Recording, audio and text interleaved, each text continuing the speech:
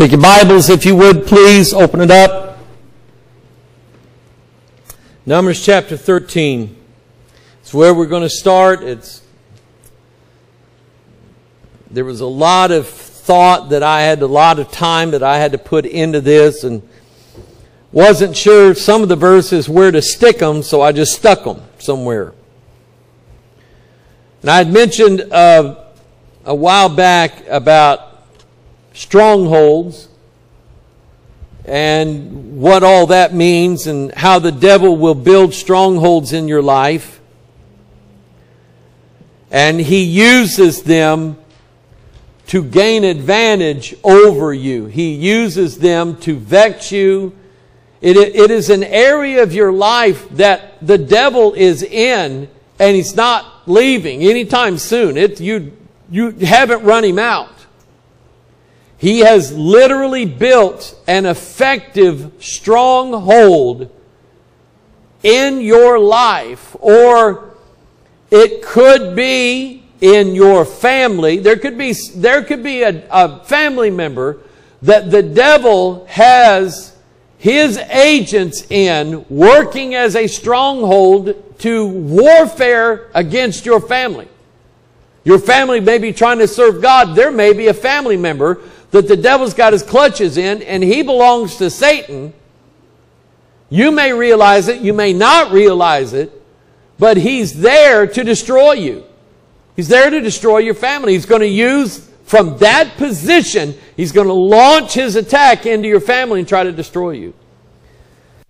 He will create strongholds in a church.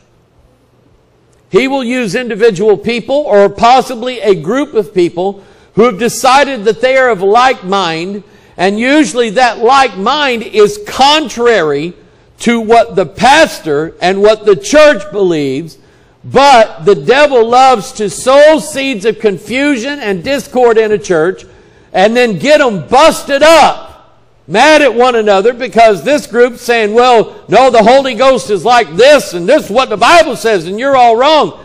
But the pastor and the church have been built on a maybe a different ideology, a different doctrine, and they're saying this is what we have believed for years and you can't just come in and change it. And they will try to draw and attract as many proselytes over to their cause as they can. And they will not leave until they have pulled about as many people as they can pull over to their side. And then when they leave, they're going to take them with you and you've lost about half your church. I've seen that happen. Now, in Numbers chapter 13, we get introduced to a stronghold. And I want you to look at what he said, Numbers 13, verse 17. And Moses sent them out to spy the land of Canaan. This is when Moses sent the, the 12 spies into Canaan land to see what kind of land it was. And he said unto them, Get you up this way southward and go up into the mountain and see the land and what it is, and the people that dwell therein, whether they be strong or weak. Are these really giants that we had heard about, or are they just little pipsqueaks? Are they few, or are they many? And what the land is that they dwell in, whether it be good or bad, and what cities they be that dwell in. And then he said, whether they dwell in tents or in strongholds. Now, Moses is a warrior, judge, leader. He's fought several battles. He understands a little bit about how it works and how it goes. And he knows that if these giants who are living in the land of Canaan have built themselves strongholds, then yes, it is going to be quite a task to get them out of that city or to destroy them when they attack those cities. Now, if they all live in tents, all you got to do is light arrows on fire and shoot them at the tents, and there goes that. That was pretty easy. But if they have built them strongholds, the chances of you being able to get them out of there are very slim. And they're going downhill fast. So that's about the first place in the Bible that you find that phrase strongholds. Now, 2 Corinthians 10, turn there in your Bible. This is more of a a study than it is a message. And I, what I'd like for you to do is, if you don't take notes, I'd like for you to take notes because I think you need some of this. I had an encounter early Saturday morning, of which I will tell you about in a little bit. I, I won't tell you all of it. Um, it was pretty bad. I can say, you know, I woke up some days, told my wife, man, I had a bad dream. What was it about? I'm not talking about it.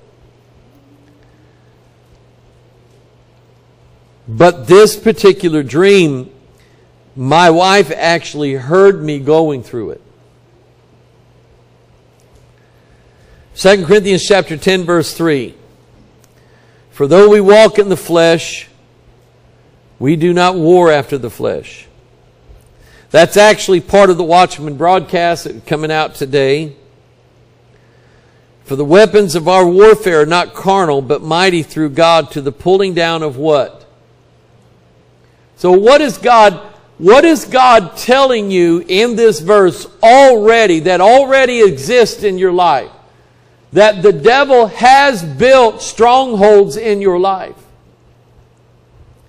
He has built in you an area of strength that you are powerless against it.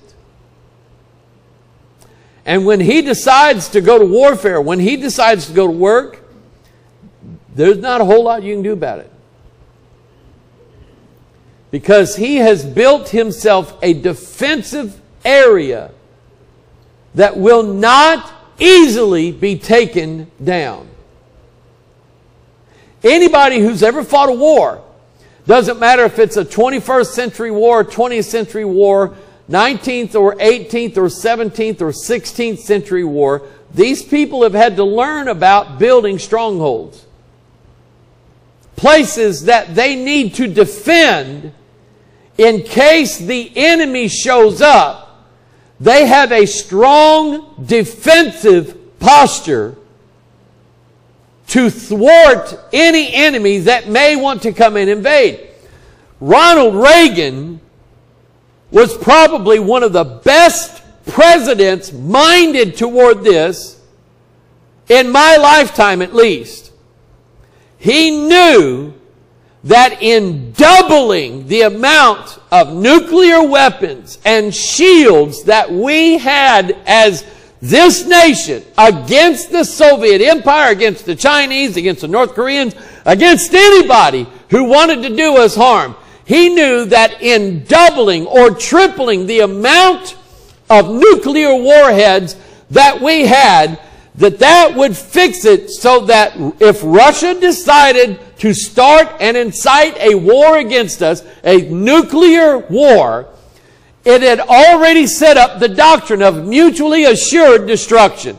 Once Russia sent a missile our way, we were going to send a thousand to Russia. Amen. Amen.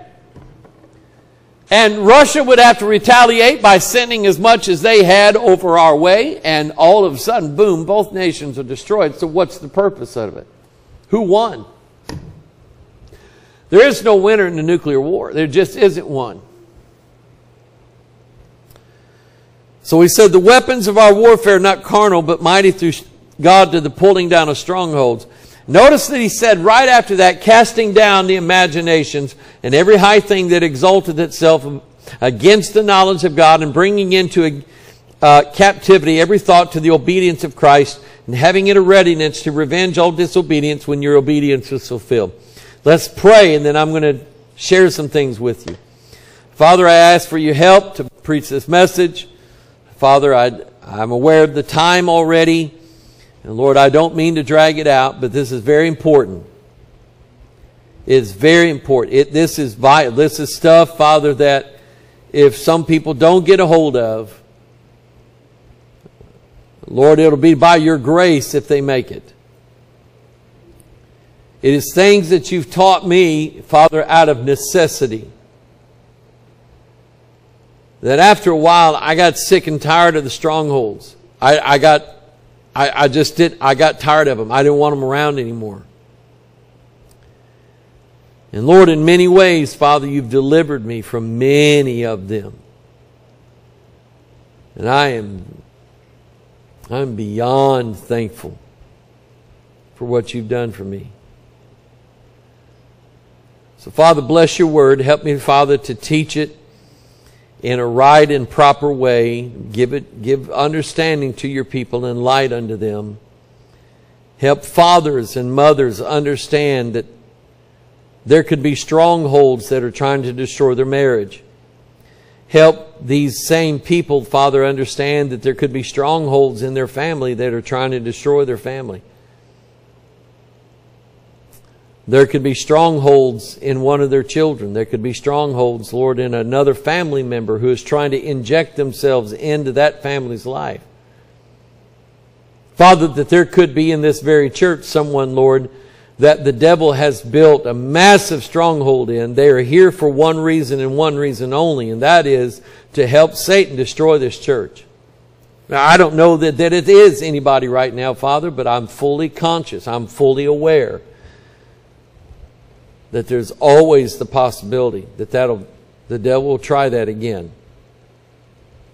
So, Father, give us wisdom, give us knowledge and an understanding how things work. We pray in Jesus' name. And all God's people said, Amen. Now, I will say something to you that I don't, I've, I've not preached about, I don't think at all, really, in the years that I've been preaching. That is in the area of dreams and imaginations, imaginings and things like that. I had, I've had in the past dreams that I have felt that they may hold some sort of uh, purpose from God, a plan from God, one in particular that I do really believe that God uh, is doing now and has been doing for a long while in my life. I remember the dream. Now, in the book of Joel, when he said that he's going to pour out a spirit upon flesh, and he said, Your old men shall dream dreams, and young men shall see visions. I have to believe the Bible, and I believe that. Now, however, you don't hear me preach on them. You don't hear me tell them because the Bible says, and, and even though the Bible is saying that God will give people dreams, God will give people visions, and so on. The Bible also says, prove all things and hold fast that which is good. And the problem with a dream is how can you prove to somebody that you actually dreamed it? Because they cannot ever see the operation of your mind, especially while you're asleep. And how many people do you think have stood up in a church service where they buy into that stuff and said, Oh, you oh, the Lord gave me a dream last night. Woo! Oh, the Lord gave the Holy Spirit come on me, fell on me, and I got a dream, and it's a prophecy for this church. But actually, the guy is making it up, and he's using that as a spiritual cover because he was with a mistress the night before, and he don't want anybody to know that, so he's using that for a spiritual cover. I see this stuff all the time. You cannot ever know whether someone actually had a dream, even if they said, I promise you I had it. That's first sign that they, they probably didn't have it. I've had what I believe to be dreams that I thought were of a prophetic nature. Now, you've never heard me tell them, and you probably never will, because I don't trust them. Now, if they happen, I will go, I dreamed that. But I'm one of these, if you want to know what God's going to do, don't come asking me what dream I had. Ask God what dream He put in the Bible to reveal what He's going to do. Because after all, do we not trust the book of Romans? Does not everybody here trust the, the book of Romans? You trust the book of Romans? Say amen. Do you trust the book of Ezekiel? Say amen. Do you trust Joel the prophet? Do you, do you trust Daniel? Do you trust that Daniel told Nebuchadnezzar the right interpretation of all his dreams? You trust Joseph. That Joseph told Pharaoh, the king, the right interpretation of his dreams. See, that's the difference. That's the Bible. Whereas somebody like me telling you this is what happened, this is what happened, you have no idea whether that really happened in my mind or not, that I actually saw that in my mind or not. This dream in particular, and let me explain to you, I've tried to do this over time, the workings of the human mind. And I may not get as far as I wanted to today in this message, but let me tell you how this mind works. You have two halves of your brain.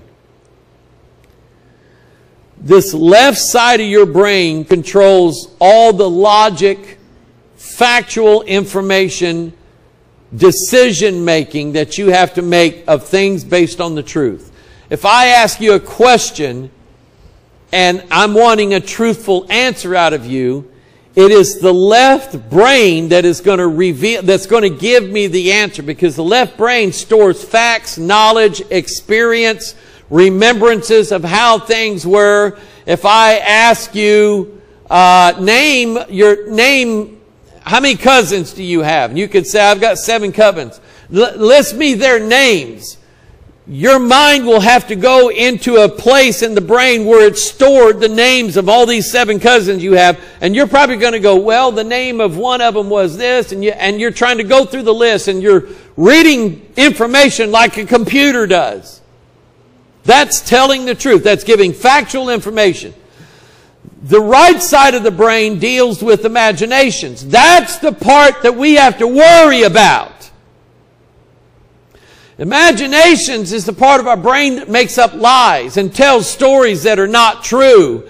And, or it is where if temptation is going to be presented to you by the devil, he will more than likely, in fact, I believe it 100%, he has access to the imaginative part of your brain, the right brain. He has access to that with, and he does not need permission from you or God to get it. And let me tell you why I said that. When the devil came down in Genesis chapter 3 to try to get mankind to fall and disobey God, who did he go to? Adam no.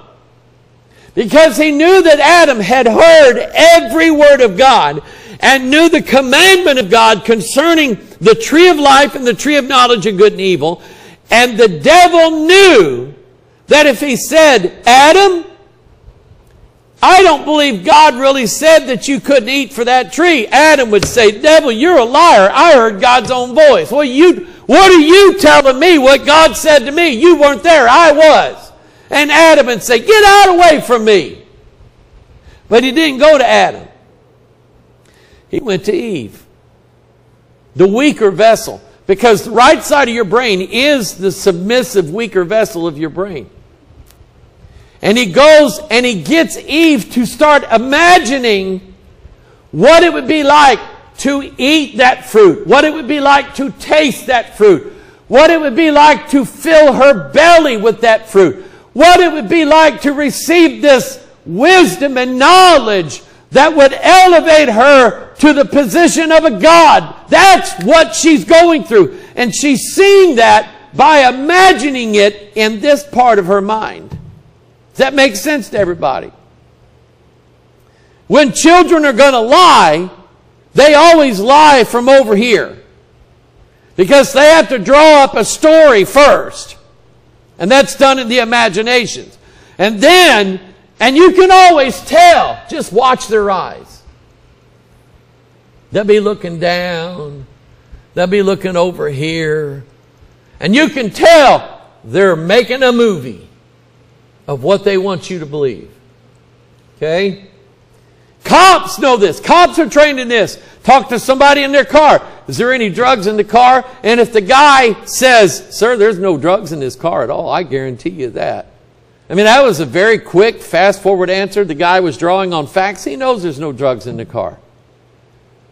A guy that has to lie about it, it takes him a couple seconds to write the lie out first so he can try to get away with it. He's using imaginations. Now, I've told you all that to tell you this. While I do believe that I think it's possible that God can give us dreams, I don't know quite what they're for yet. Maybe God has us knowing some of them. Some of the dreams, you dream every night, you just don't remember them. But some of them, some of the dreams you've had, you remember to this day. Every detail. And I believe the devil has nearly unlimited access to the right side of my mind, the imaginations. If he tempts me, he's going to use my imagination to tempt me. If he's going to tempt me to lust, he'll use my imagination for me to draw out a picture of how this would be. If he's going to tempt me to lie, he's going to help me draw the picture of how I can get by with this. And it's all done over here. And I believe he's got access to that part. Saturday morning, I, I woke up, and after Lisa and I had been up for a while, I asked her, I said, Did you hear me talking in my sleep early this morning? And she said, Yeah. What was that about? And I said, It was bad. It was a very, very bad dream. I asked her, What did you hear me say? And she said, Who are you?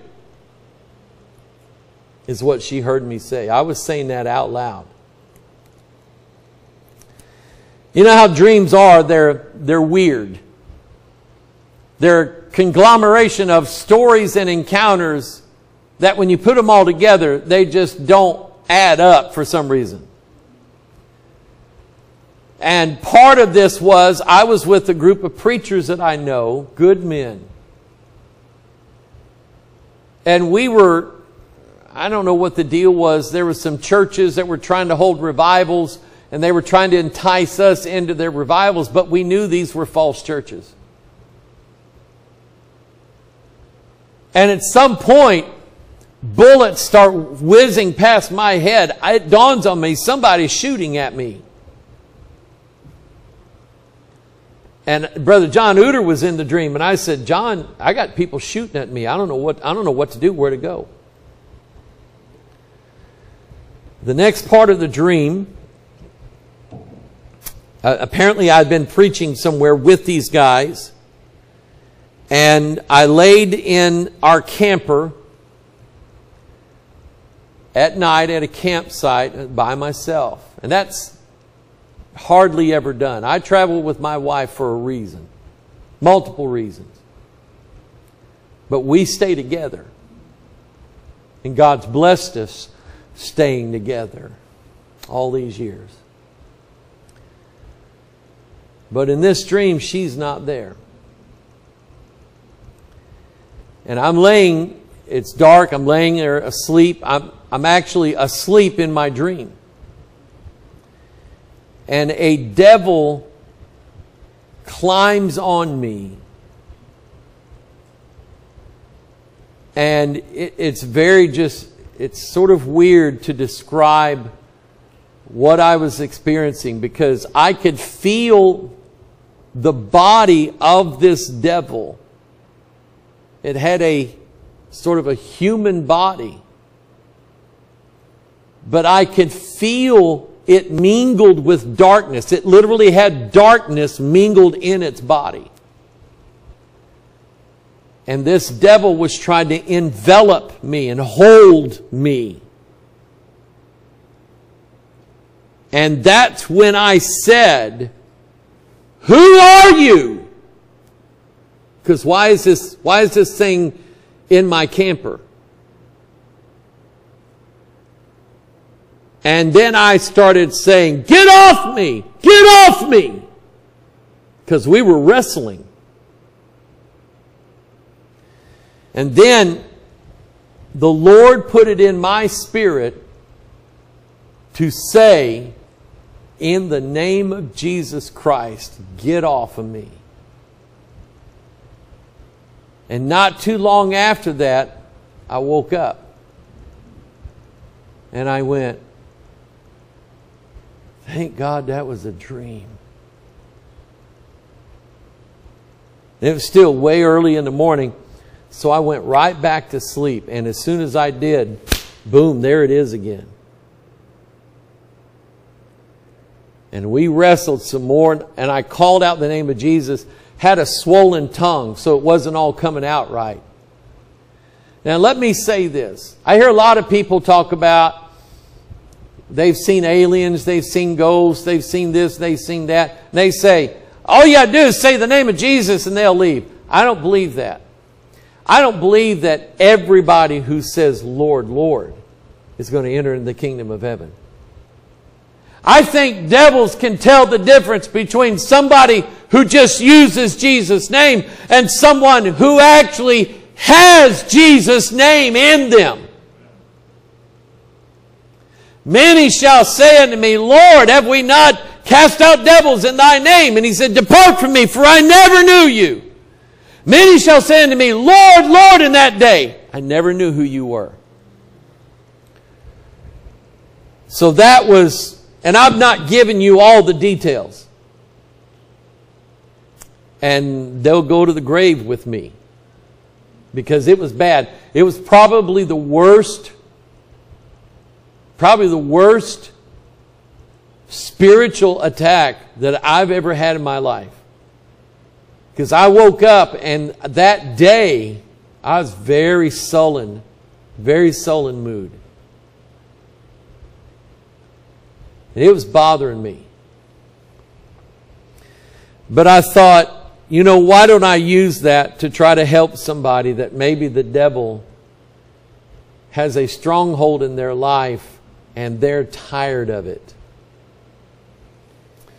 So now, take a look up on the screen. Remember, where'd Gary go?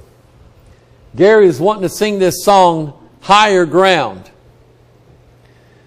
Let me explain what strongholds are. Strongholds are fortifications. In a stronghold, there will be usually a high tower. What's a high tower good for? The higher you can see, the farther you can see. Amen? Which is what made us think about, hey, I wonder if we could put cameras in space to look at what the Russians were doing. And it worked. So we've got stronghold positions up in space. I don't have any doubt that we've got a few nukes up there too. I don't doubt that at all. But they are places of enforcement that make it nearly impossible for any enemy to prevail against it. Now, if you have a stronghold in your life that is where you are protecting yourself and you're protecting your family and you're helping to protect this church, God bless you. Because there are some good strongholds. Does anybody know what picture this is? Anybody know what this is?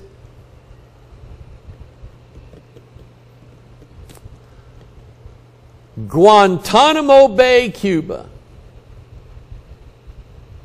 Now, the nation of Cuba, friendly to us or unfriendly to us?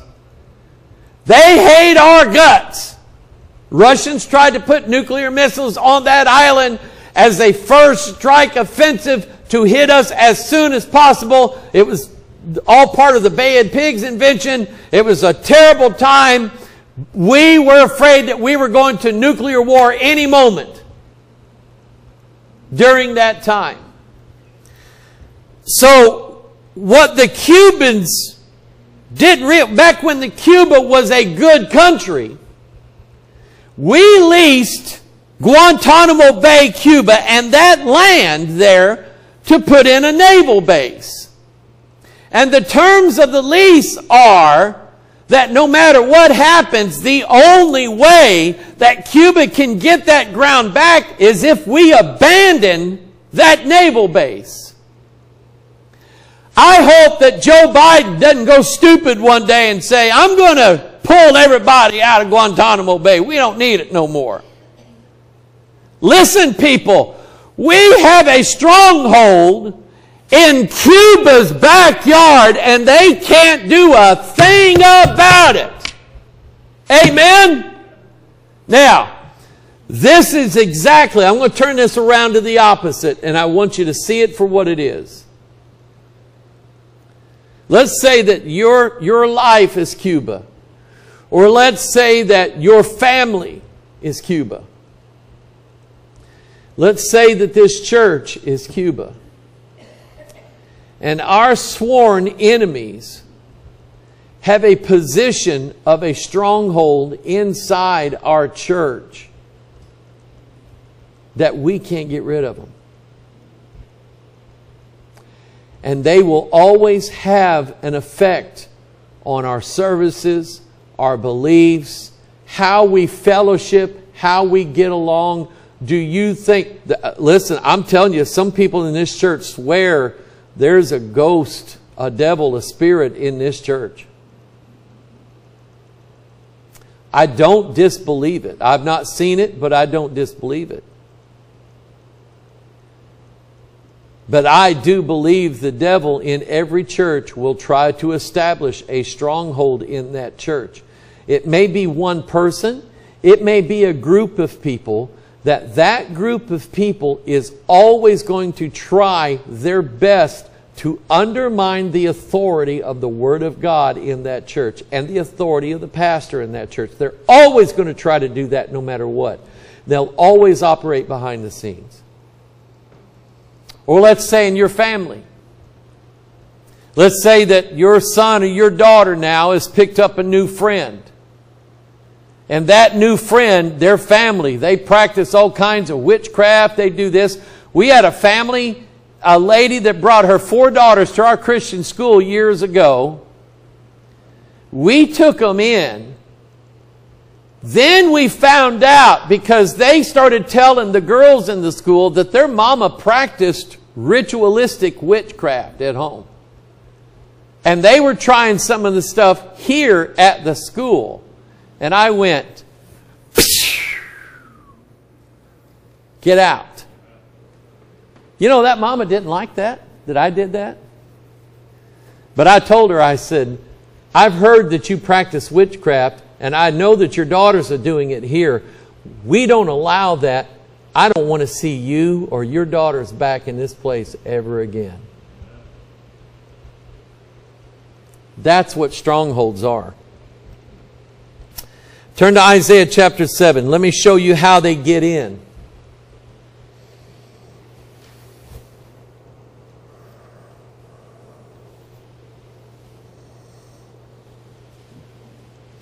Isaiah chapter 7.